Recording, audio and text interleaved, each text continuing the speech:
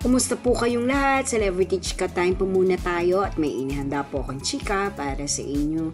Tara po't magchikahan na po tayo.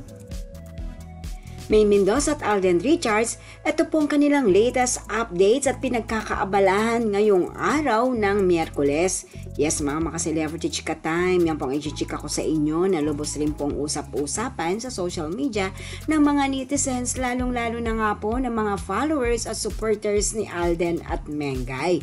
Bago po tayo dumako riyan, inais ko po munang batiin mga timbahay, team abroad at mga seniors natin dyan. Shout out po sa inyong lahat at happy Wednesday po. Yes po mga maka-celebrity chikatahan, ngayong araw nga po ng Miyerkules ay happy happy po mga followers at supporters ni Mengay dahil muli na naman nga po nilang nasilayan ito sa longest running noontime show na Itbulaga.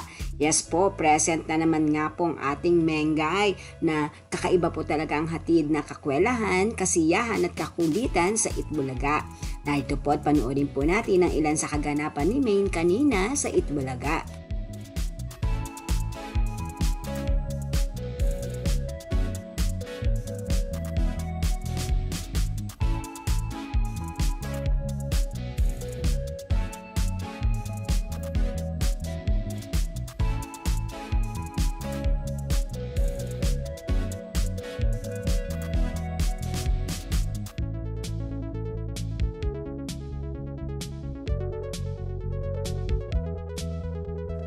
Samantala si Alden naman ang lumabas sa social media ay isang larawan nga po na kung saan po ay mukhang abalang-abala po sa photoshoot o taping ang ating Asia's multimedia star. Walang masyadong detalye kung para saan po ito, ngunit alam naman po natin na kaliwat kanan po ang blessings kay Alden ng mga projects Lalong-lalo na nga po ang kanyang pinakabagong teleserye sa GMA and of course ang mga kanyang mga endorsement na kaliwat kanan pa rin po. Yan po ang aking chika days for today. Salamat po sa inyong panunood. Huwag po kalimutang mag-subscribe.